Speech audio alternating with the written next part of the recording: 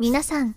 こんにちは。今回は、みんなが大好きだったお菓子メーカー、美味しすぎた江崎グリコの昭和50年代のお菓子16選です。昭和50年代といえば森永製菓や明治製菓などもお菓子の大手メーカーとして有名で子供が欲しがるお菓子はもとよりそのお菓子についてるおまけなんかも人気がありましたね。当時の懐かしい思い出も一緒に振り返っていきますのでぜひ最後までお楽しみください。まずご紹介するのはこちら。江崎グリコから発売されていたペロタン。このペロタンは実は1973年に発売されており昭和50年代に人気が再沸騰する形で子供たちの間で大人気になった丸型の棒付きチョコレートです。ミルクチョコレートといちごチョコレートの2層に分かれているのが特徴で人気を博し続けたのを機にいろんなキャラクターでバナナ味やメロン味なども追加されましたね。特に有名なのは女子に人気のあったハローキティの顔がプリントされたもので、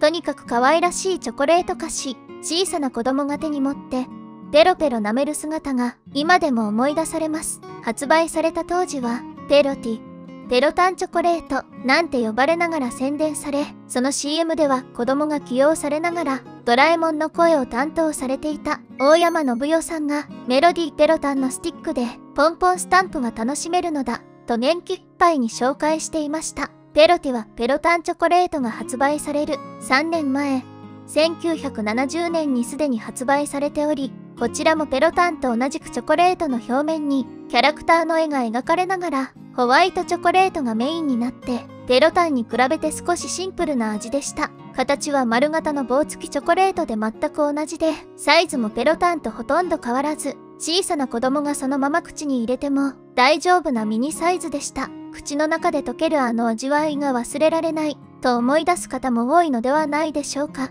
さて次は虹が青空にかかったあの爽やかなパッケージで有名だったスカイミントのご紹介です。グリコスカイミントは1974年に発売されていてそれが50年代に入ってさらに人気が出始めます。ミント味のソフトキャンディーでうずら卵を模したようなレモン味が入っており全体的に可愛い形のキャンディーでした。当時の価格で60円。駄菓子屋をはじめスーパーやデパートなどでも売っていて手軽に買えるおやつとしてはありがたい商品でした。その CM ではいくつかのバージョンがあり1982年頃に放送されていた CM は可愛らしい女性が登場してこのスカイミントはねスッとするキャンディーでねと歌うような声で爽やかに紹介していました。また同時期にアイドルグループバンドのずうとるびが出演していた CM ではシングル曲スカイランデブー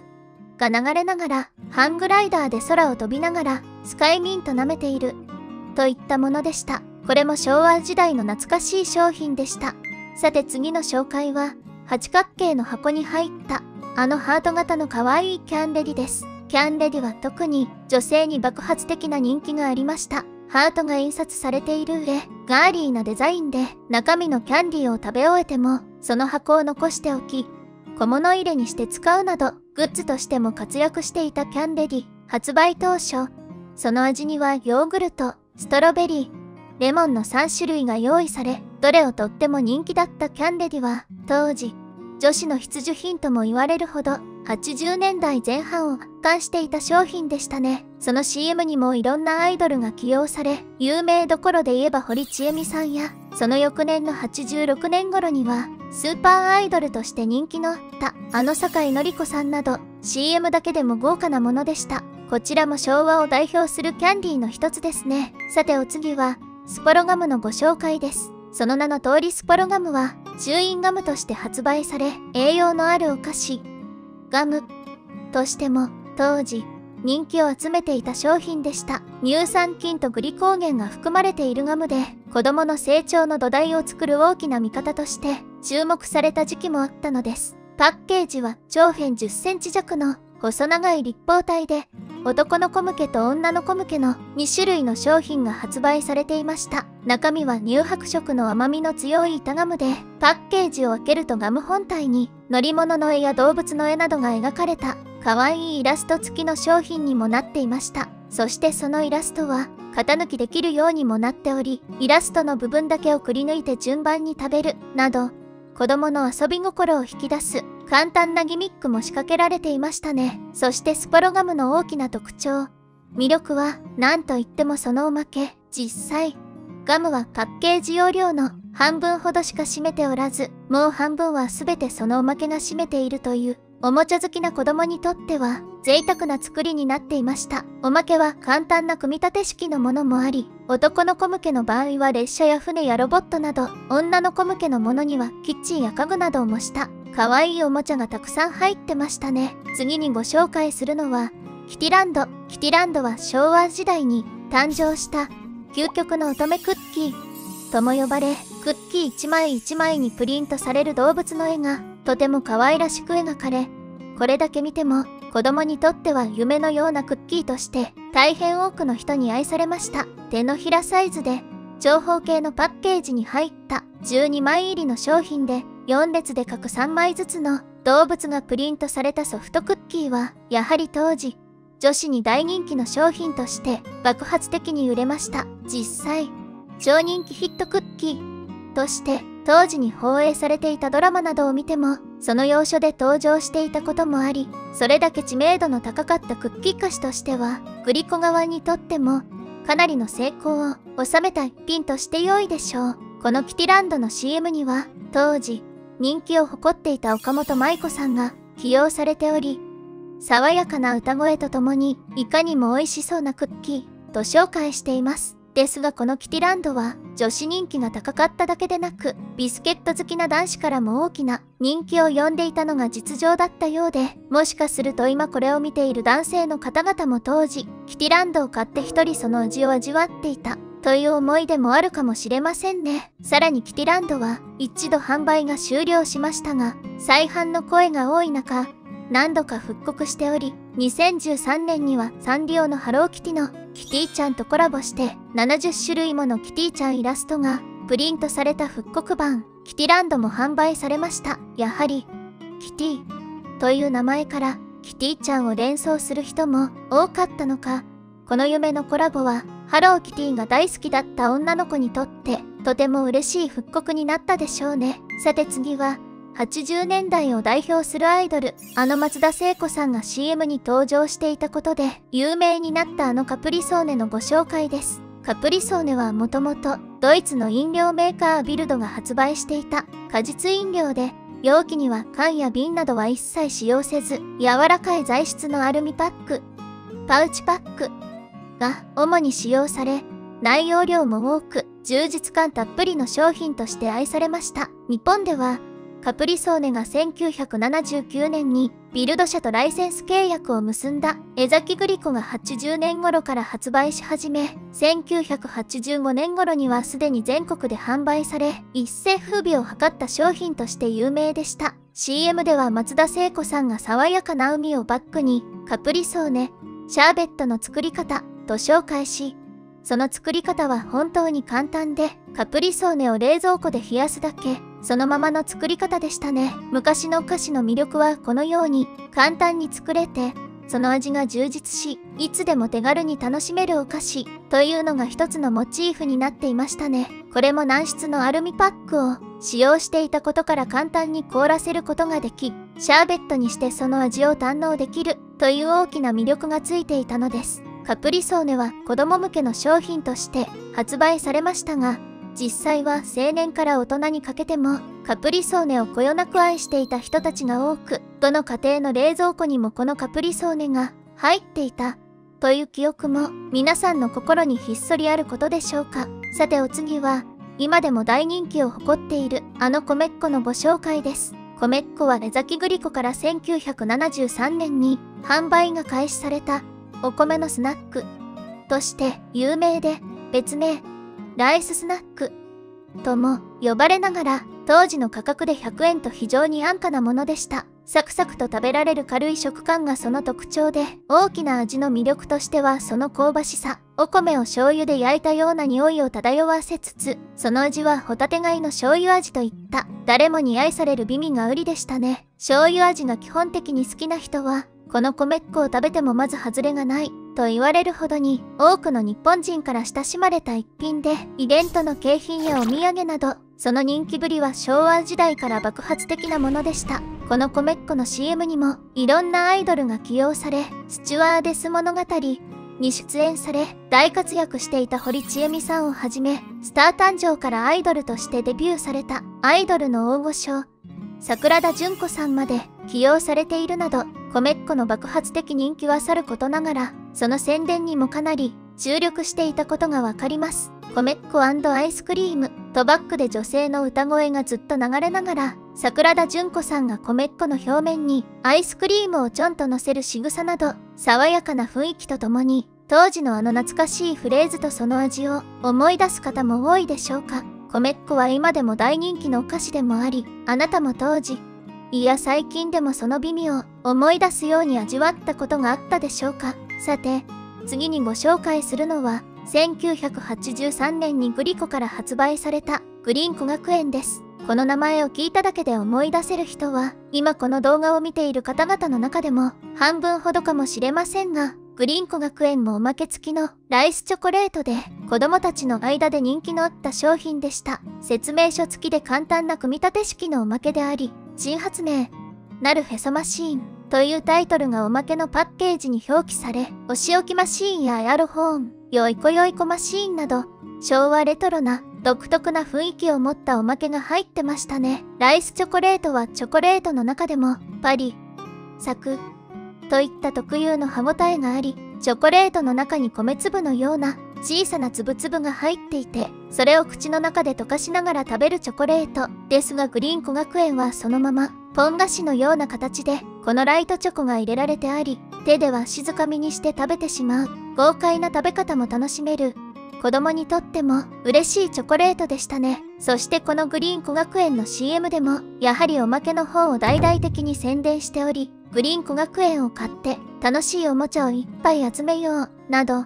子供の興味を十分に引き立てる愉快なおまけ付き菓子として紹介されていました。皆さんもこのグリーン古学園を買ったことがあったでしょうか？どんなおまけが出るか楽しみの夢の詰められたチョコレートでした。次にご紹介するのはおそらく子供の時皆さんも一度は手にして食べたことがあるかもしれないチョコリロです。昭和50年にグリコから発売されスティック菓子にチョコレートを横縞模様の形でまぶしたポッキーより少し太いスティックチョコレート菓子です。当時大人気だったピンクレディの2人がこのチョコリロの CM に出演されておりちょっとリッチなと歌い始めるパフォーマンスの魅力がその宣伝効果も高めてくれていました。それでいて大人のムードも醸しつつちょっと高級感を漂わせながら文字通りリッチなチョコレートスティックとしてこちらも多くの人から愛されました。当時の価格で150円で販売されており周りのチョコレート商品に比べても結構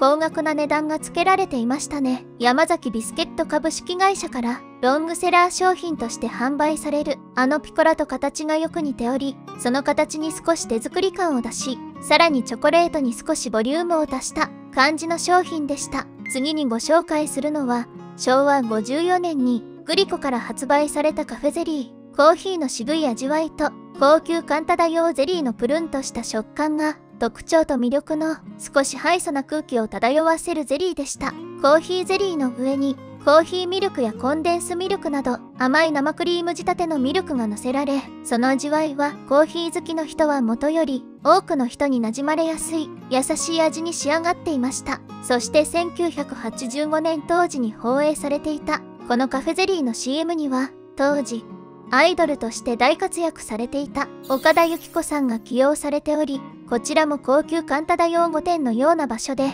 彼女がゆったりしたソファーに座りカフェゼリーを美味しそうにかつ爽やかに食べるというとても印象深い作りになっていましたね。夢のために一口追加でもう一口という彼女のセリフを今でも覚えておられる方が多いのでは。さて次にご紹介するのは一口チョコレートとして発売されたビターチョコのアフロスです。こちらは子供に大人気のチョコレートとして人気を上げビターチョコレートながらその渋みがあまり残らず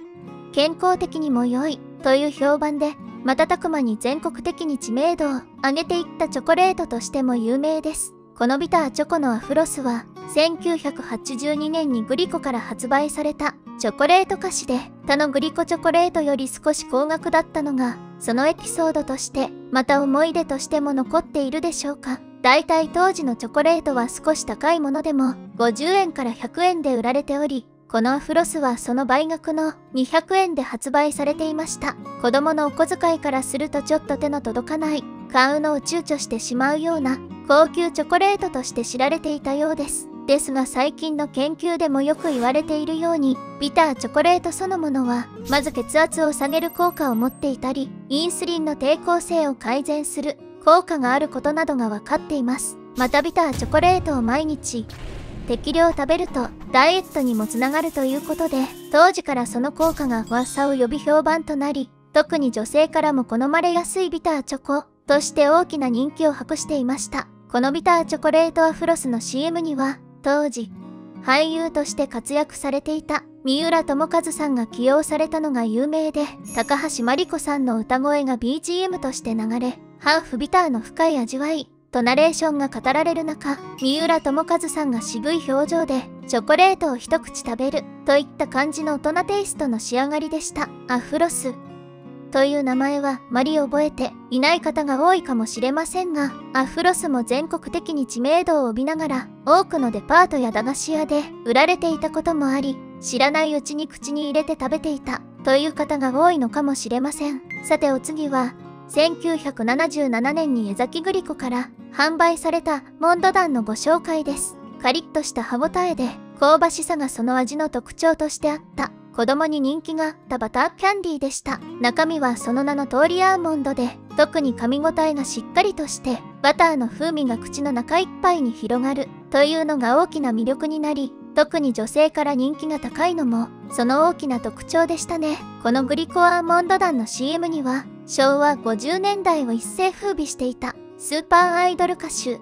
ピンク・レディーが起用され西部劇の格好をしてアモンド団を頬張るという一風変わった作りになっていました。BGM にはピンク・レディーの歌が起用されており西部劇の格好ながら銃撃する場面もしっかり含まれ撃った後ミーさんがすってんころりんと尻餅をついてしまうなどほんわかとした面白要素も見せてくれていました。ピンク・レディーが起用されていたということでアーモンド団人気はこの CM で爆発的に上がっていきました。アーモンド団の形そのものも薬莢の形をしておりその印象というかインパクトの方で覚えておられる方が多いかもしれません。味的にはキノコの山やタケノコの里に似てるという人も多くいるようで大きめのアーモンドがバターキャンディーで覆われていることから歯ごたえとバターのふんわりとした味わいがそのまま堪能できるという特典もあったのでしょうあなたにもこのアーモンド団にまつわる思い出が何かありましたか？昭和時代の温かい思い出がひっそり蘇ってくるのではないでしょうか？お次は、1974年から発売され、昭和50年代に入り爆発的なヒットを遂げたセシルチョコレートのご紹介です。セシルチョコレートのセシルというのは有名な小説家、サガンの悲しみよこんにちはに登場する主人公、セシルから取ったものとされているようです。長細い赤色したパッケージにセシルと白文字で大きく表記され中には花柄の銀紙に包まれた丸型チョコレートが12個入っていましたスライド式の箱だったので一つずつ丁寧に食べることもできこちらも女子に大人気の商品として当時一世風靡するほどの勢いを持った商品でした。グリコは昔からこのスライド式の箱タイプのものが多く食べやすさと携帯用にもちゃんと配慮した。商品をちゃんと用意してくれ。それでいてクオリティの高いお菓子が多かったですね。80年代当初でグリコアーモンドチョコレートが200円。このセシルチョコレートが170円でありちょっと高めの値段ではありましたが味が上品で飽きることのない味のチョコレートとして人気を保ち続けます。当時にしてもこのような形で人気を博し続けるチョコレートは稀な一品としてロングセラー商品となる兆しを十分に見せてくれていました。このセシルチョコレートの CM にも多くのアイドルや俳優が起用されており堀ちえみさんや山口百恵さん桃江さんの夫である三浦友和さんも一緒に起用されることもありまた有名な CM ではスケバンデカで全国的な人気を博していたあの南野陽子さんも出演されておりそれだけ見てもセシルチョコレートがいかに絶大的な人気を誇っていたかということがおのずとわかると思います。さて次は昭和50年代を代表するほどのおもちゃガムとして有名だったギャグメイトのご紹介です。ギャグメイトはオリンゴ味のガムで他の青リンゴ味の飴やガムに比べて引けを取らないほどの美味しさがありました。しかしこのギャグメイトを発売するにあたってグリコが大きく狙っていたのはギャグメイトに付属しているおまけそのものの完成度です。他のおまけ付き菓子に比べてはるかな充実性とクオリティを保たせており小さいながら緻密な作りのプラモデルが入っていたり特に有名なものでガシャドクロといった。骸骨とその棺桶を模して作られた。奇妙ながら思わず興味を惹かれるおまけもあって子供にとっては遊び心満点のおまけが満載でした。他にも化け猫消しゴムや水木しげるさんの代表作「ゲゲゲの鬼太郎」の4コマ漫画がそのまま入っていたり家電製品や日用品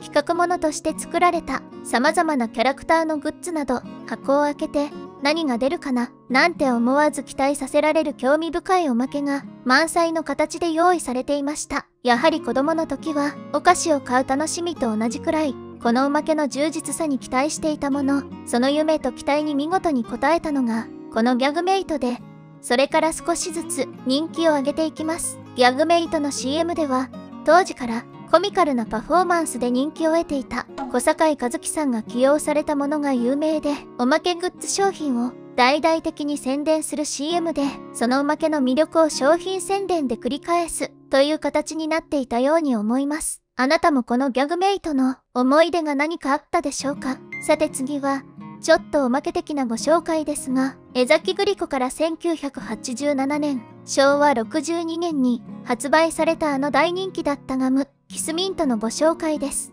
口の中が潤うウォーターリングタイプのガムとして多くの人に愛されプライベートはもとより通勤中などにも乾いた喉を潤すためまたは口臭を抑えるため味そのものを楽しむためなどその時々でたくさんの人と一緒にいてくれたキスミント。このキスミントにはピーチ味マスカット味サワーシトラス味